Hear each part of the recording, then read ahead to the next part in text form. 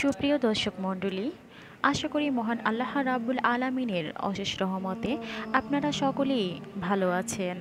আমাদের অনেকের মনে প্রশ্ন জাগে যে, মৃত মানুষ কি কবর থেকে দুনিয়ার সব কিছু দেখতে পায়?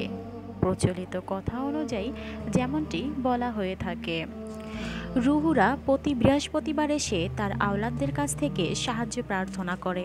এইভাবে তারা কি কবরের জগৎ থেকে দুনিয়ার যাবতীয় সকল কিছু প্রদক্ষিণ করতে পারে? মৃত্যুর পরেও মানুষ দেখতে ও শুনতে পায়। যে মানুষের জন্ম হয়েছে, তাকে অবশ্যই মৃত্যুবরণ করতে হবে। দুনিয়া সৃষ্টি হবার পর থেকে অনেক মানুষের জন্ম হয়েছে এবং একটা নির্দিষ্ট সময় দুনিয়াতে বসবাস করার পর তাকে মৃত্যুবরণ করতে হয়েছে। প্রত্যেক মানুষকে মৃত্যুবরণ করতে হবে। এ বিষয়ে পবিত্র কোরআনে মহান আল্লাহ তাআলা বলেছেন, প্রত্যেক প্রাণীকে মৃত্যুর স্বাদ গ্রহণ করতে হবে। সুরা আল ইমরানের একশো পঁচাশি নাম্বার আয়াত।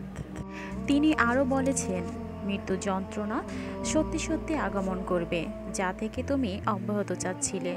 সুরা কাহাব উনিশ নাম্বার আয়াত। আল্লাহ তালা আরও বলেন, কখনোই নয় যখন প্রাণ অষ্টাগত হবে এবং বলা হবে, কে তাকে রক্ষা করার জন্য যার ফুক করবে। আর সে মনে করবে যে বিদায়ের সময় এসে গেছে। সুরা কেয়ামা ছাব্বিশ থেকে আঠাশ নাম্বার আয়াত। আমাদের নবী সাল্লাহু আলাইহি আসাল্লাম বলেছেন, জীবনের স্বাদ বিনষ্ট করি, মৃত্যুর কথা তোমরা বেশি বেশি স্মরণ করো। তিরমিজি, নাসাই ইরুয়া ছয়শো বিরাশি নাম্বার হাদিস। তাই প্রতিটি মুসলমানের কর্তব্য হলো অধিকারের সৎ আমল করা এবং মৃত্যুর জন্য প্রস্তুতি গ্রহণ করা।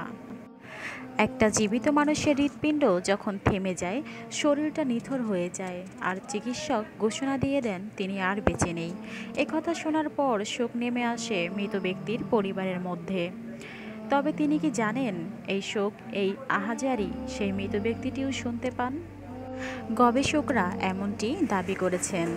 তাত্ত্বিকভাবে একজন মানুষ মৃত্যুর কোলে ঢলে পড়লেও একেবারে তিনি ফুরিয়ে যান না। তার চেতনা নির্দিষ্ট সময় পর্যন্ত সজাগ থাকে।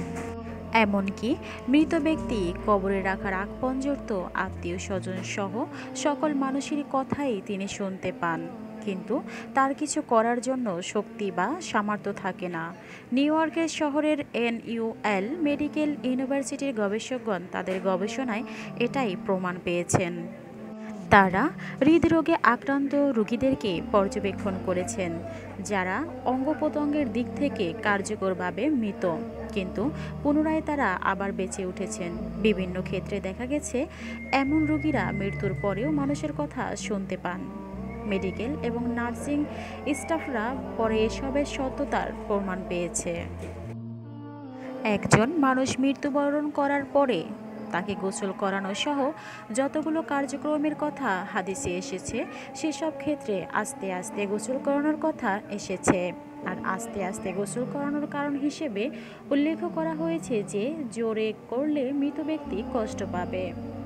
আজ থেকে চোদ্দশো বছর পূর্বে আমাদের নবী করিম সাল্লাহ আলাইহি আসাল্লাম যে কথাগুলো বলে গিয়েছিলেন, গবেষকরা এখন গবেষণা করে সেই বিষয়গুলোই প্রমাণ করেছেন।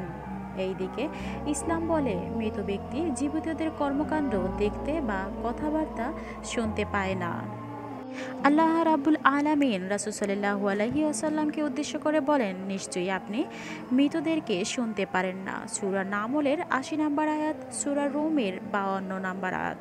অন্যত্র তিনি বলেন, আপনি কবরবাসীদেরকে শোনাতে সক্ষম নন। সুরা ফাতির বাইশ নাম্বার আয়াত। অনেকেই রাসুল্লাহ সাল্লাহ আলাহি আসাল্লামের একটি হাদিস দ্বারা মৃত ব্যক্তি শোনার উপর দলিল পেশ করেছেন।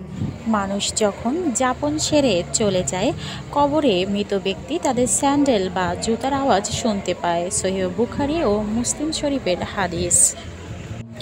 এর উত্তরে, শায়েখ আল বানি রাদিয়াল্লাহ বলেন, যখন ফিরিস্তাগণের প্রশ্নের জবাব দেওয়ায় মৃত ব্যক্তি জীবিত করা হয়, সে সময় সে জুতার আওয়াজ শুনতে পায়, অন্য সময় নয়। আল্লাহ পাক আমাদের হাদিস ও মহাগ্রন্থ আল কোরআন বুঝে আমল করার তৌফিক দান করুক। আমিন। ভিডিওটি ভালো লাগলে অবশ্যই সাবস্ক্রাইব করে পাশে থাকা বেল বাটনটি বাজিয়ে দিবেন। এবং ভিডিওটি শেয়ার করে অন্যকে দেখার সুযোগ করে দিবেন।